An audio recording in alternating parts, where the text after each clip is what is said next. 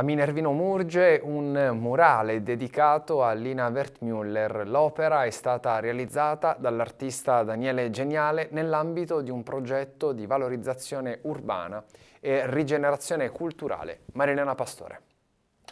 Lo sguardo di Lina Wertmüller da qualche settimana si posa sulla città di Minervino Murge. Ad immaginarla così è stato Daniele Geniale, street artist già noto per i suoi murales, che ha firmato questa volta insieme a Bianca Peloso dell'associazione culturale Andrea Ground il progetto CRAI e Post CRAI, inserito nella cornice del bando della regione Puglia Star Lab in collaborazione col comune di Minervino Murge. Qui nel 1963 Lina Wertmüller ha girato un film, tra l'altro il suo film di esordio esordio alla regia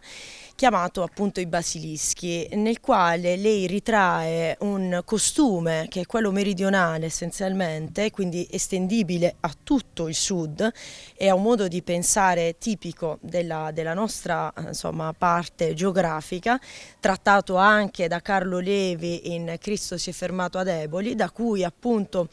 ha preso eh, il titolo il progetto, CRAI e Post-CRAI, infatti viene citato proprio eh, nel libro di Carlo Levi, meraviglioso, in cui lui dipinge il CRAI e il Post-CRAI, che sarebbe domani e dopodomani, come sappiamo in dialetto è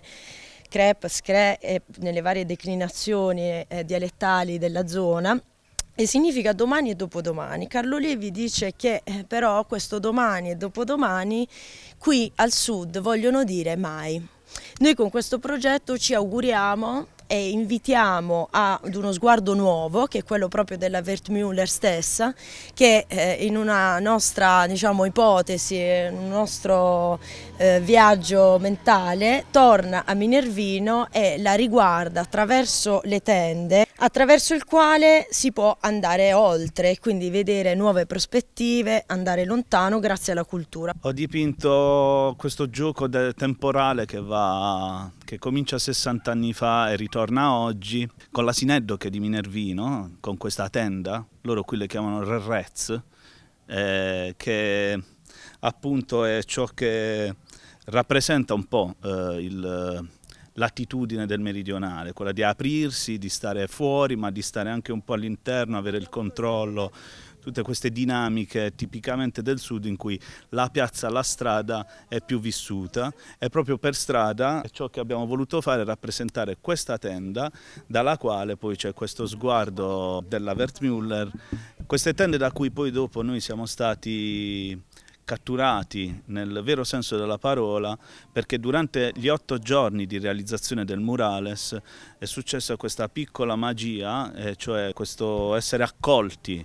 eh, totalmente abbracciati dagli abitanti di, que di questa strada e di essere diciamo, inglobati all'interno della comunità per cui il murale è risultato essere sempre di sfondo come io ritengo sia giusto che sia, quando si tratta di arte urbana, di qualcosa che è calato spesso dall'alto per ovvi motivi di organizzazione, di progettualità, ma che poi dopo deve tener conto prima di tutto di chi quella strada la vive.